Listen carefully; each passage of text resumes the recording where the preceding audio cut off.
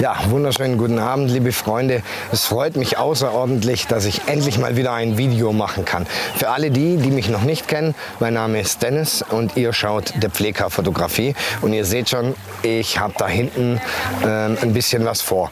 Wie ich es aufgebaut habe, seht ihr gleich nachher nach dem Intro. Und ähm, ja, wie gesagt, ich möchte ähm, im Moment das Hochwasser ein bisschen festhalten. Wir haben ja am Bodensee ein bisschen Hochwasser und ähm, ja, dann muss man die Chance natürlich auch nutzen. Auch wenn ich damit niemandem auf die Füße treten möchte, der im Hochwasser sein Hab und Gut verloren hat, das ähm, will ich natürlich nicht, sondern ich möchte einfach nur für mich die Chance nutzen, das Hochwasser ein bisschen in Szene zu setzen. Der Bodensee hat äh, momentan 4,92 Meter ähm, Wasserstand, aktuell heute. Und ähm, historisches Hoch, zehnjähriges Hochwasser wäre dann bei 5,12 Meter. Aber 4,92 Meter ist auch schon ziemlich hoch. Also von dem her, ähm, Warum bin ich die letzten Wochen nicht dazu gekommen, ein Video zu machen? Bei mir war ziemlich viel los. Familie, äh, Umbaumaßnahmen standen an. Äh, ich habe ein neues Büro und auch YouTube-Zimmer gebaut. Ähm, dann mein Sohn hat ein neues Zimmer gekriegt. Dann, wie schon angesprochen, kam ein neues Familienmitglied zu uns in die Familie. Der hat natürlich im Moment ziemlich viel ähm, Zeit in Anspruch genommen. Und dann war es noch die ein oder andere Projekt, wo ich so noch umsetzen musste. Ähm, letztes Wochenende war ich im Hochwasser gefordert. Für den, der es nicht weiß, ich bin auch bei der Feuerwehr und habe von daher da meine Hilfe und meine körperliche und geistige Kraft in den Dienst der Öffentlichkeit gestellt. Ähm, ja, lange Rede, kurzer Sinn. Ähm, wir fangen am besten an, wir gehen ans Werk und sehen uns nach dem Intro wieder Sonnenuntergang bei Hochwasser mit Stuhl und Tisch im See.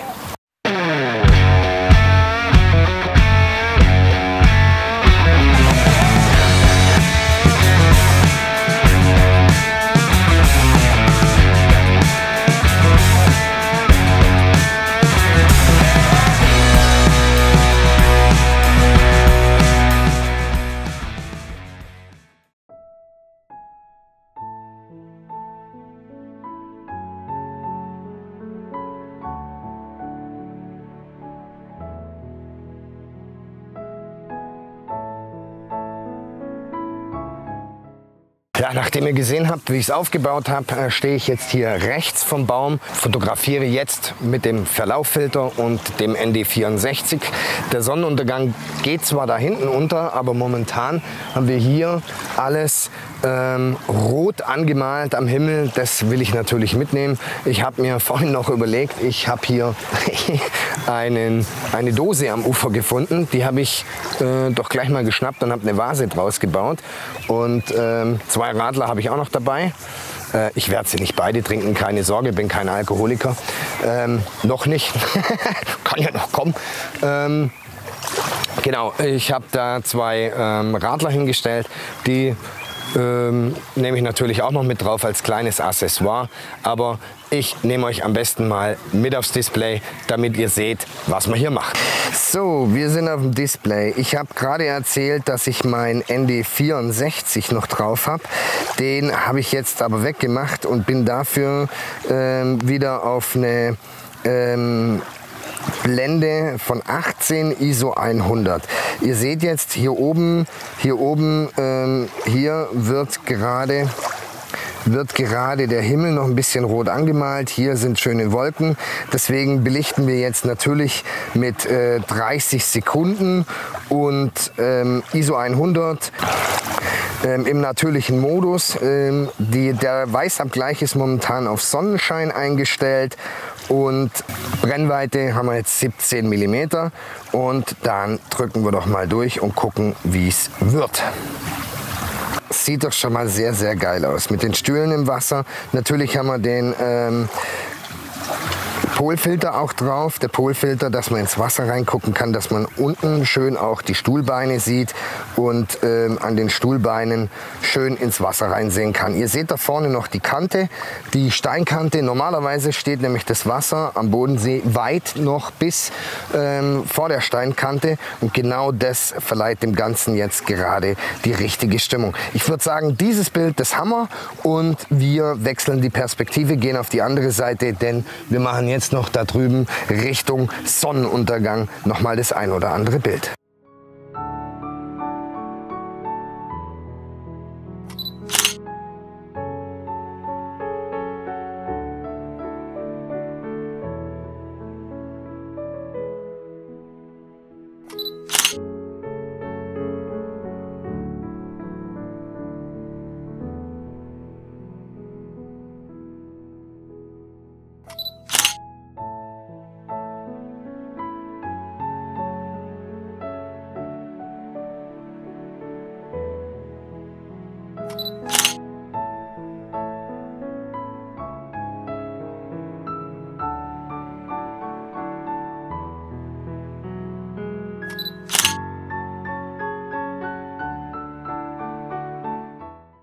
Ja, zugegeben, ähm, ich habe mir dieses Bild hier auch neulich auf ähm, Facebook gesehen, habe mir also da Inspiration geholt und ähm, das hat nämlich drüben einer in Arbon auf, ähm, am, am Hafen in der Nähe gemacht und der hat hier auch so Stühle im Wasser stehen gehabt und das fand ich so geil, dass ich gedacht habe, Mensch, das wäre doch was, Darüber mache ich doch heute mal ein Video. Mein erstes Video nach vier Wochen. Ich bin wieder da.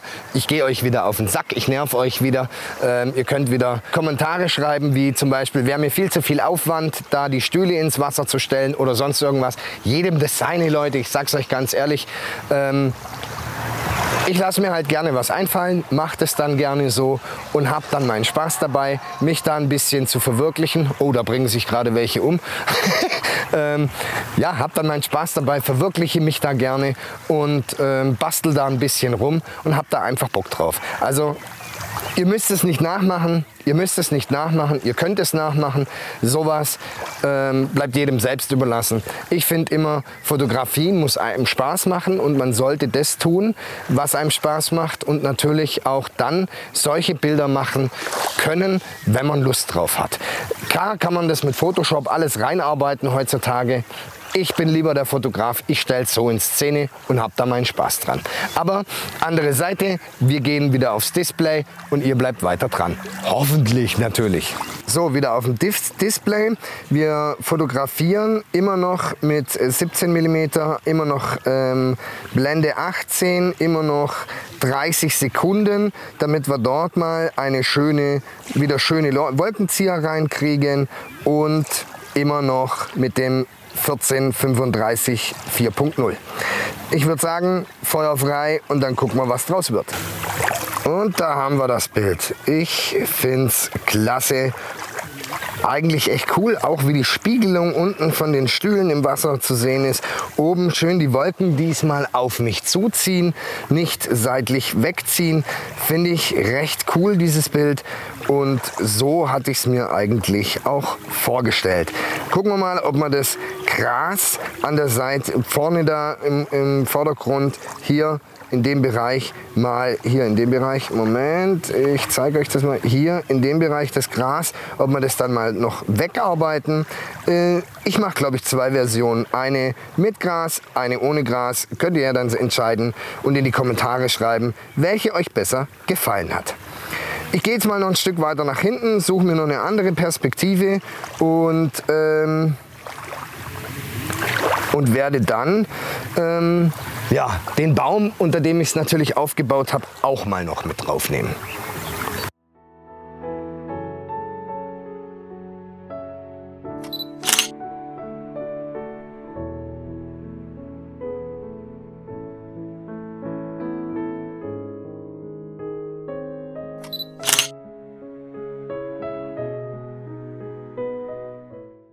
Ja Leute, ich freue mich an Ast, dass die ersten zwei Perspektiven so cool funktioniert haben. Ich habe da echt ähm, gehofft drauf, dass das heute Abend so wird und dass noch so ein Sonnenuntergang kommt.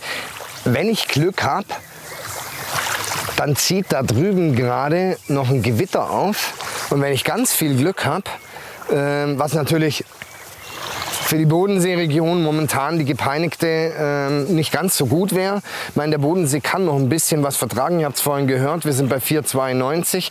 5,12 Meter wäre es zehnjährige Hochwasser, aber gerade drüben ähm, der östliche Bodenseebereich, Meckenbeuren und so weiter, dürfen kein Wasser mehr kriegen. Ähm, von mir aus alles hier rüber nach Sippling, Überling, ähm, gar kein Problem. Aber nicht mehr nach hinten Meckenbeuren etc. Ähm, ich habe jetzt wie gesagt noch hier die andere Perspektive. Ich nehme jetzt hier noch mal einfach den Baum mit rein. Ähm, der, das Ufer am Vordergrund, im Vordergrund sieht nicht ganz so schön aus. Aber ähm, ja, man kann nicht alles haben ich nehme es jetzt einfach so mit. Mittlerweile sind wir kurz vor der blauen oder in der blauen Stunde angekommen und ich muss mich jetzt beeilen, weil sonst seht ihr mich gleich nicht mehr beim Abschlussvideo und äh, das wollen wir natürlich nicht. Mein schönes Gesicht muss natürlich drauf sein, ist ja klar. So, wir lassen gerade ich lasse gerade laufen. Ähm, wir, ich fotografiere natürlich wieder mit 30 Sekunden alles wieder wie vorhin, außer die Blende, die steht jetzt bei 16. Ich musste ein wenig abblenden, weil ich ähm, ja, natürlich wird es immer dunkler. Der Verlauffilter ist noch drauf, der Polfilter ist noch drauf und deswegen Blende 16 jetzt und nicht mehr Blende 18. Ich gucke mal aufs Bild, auf der Bildschirm, was draus geworden ist.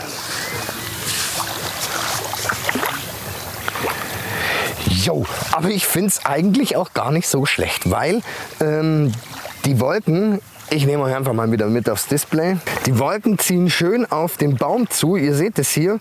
Der Stuhl steht da unten drin und ganz hinten rechts, hier unten rechts haben wir noch mal ein bisschen Sonnenuntergang. Ähm, ich finde es eigentlich gar nicht so schlecht. Macht echt Laune. Richtig cooles Bild. Mir gefällt es eigentlich. Ähm, wir werden nachher in Lightroom noch ein bisschen den äh, Vordergrund ein bisschen aufräumen. Das ein oder andere Ast hätte man auch vorher ein bisschen aus dem Bild rausräumen können. Ähm, ja, werden wir vielleicht noch ein bisschen rausarbeiten. Ich glaube, ich werde aber ähm, hier vorne mal noch geschwind aufräumen und werde dann noch mal ein Bild machen, damit es besser aussieht. Bis gleich. So, ich muss mir jetzt äh, leider mit dem Handy ein bisschen ins Gesicht ausleuchten. Macht auch nichts, kann man ja gerne mal machen. ähm, ja, ähm, ich habe jetzt ein bisschen aufgeräumt und mache das nächste Bild jetzt wieder im aufgeräumten Zustand. Ich glaube, das kommt dann noch besser.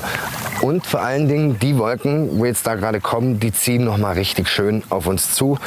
Und deswegen Feuer frei. Ich melde mich, wenn das Bild durch ist.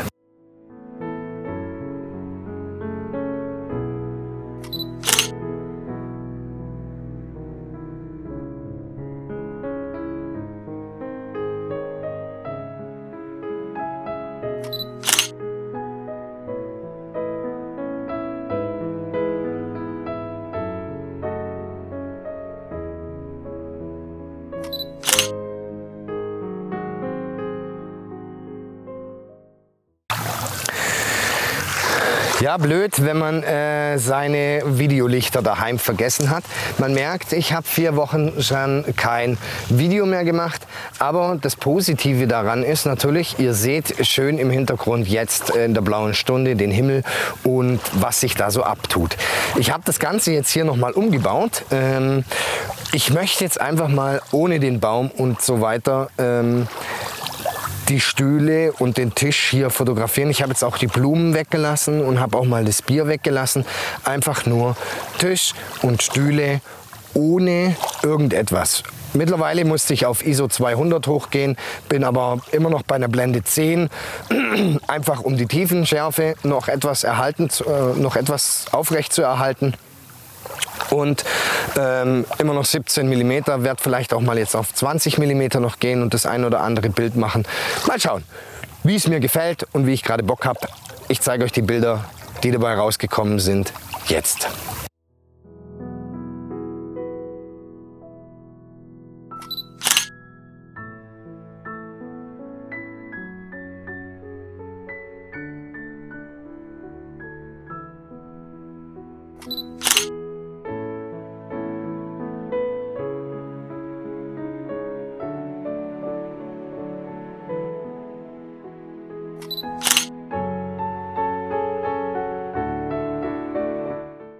So, die Handyleuchte ist wieder im Einsatz, damit ihr mein schönes Gesicht natürlich wieder seht.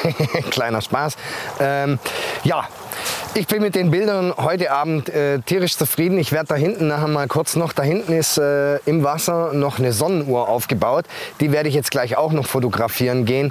Aber ich glaube, dahin brauche ich euch nicht mehr mitnehmen und noch mal palabern und erklären und so weiter und so fort.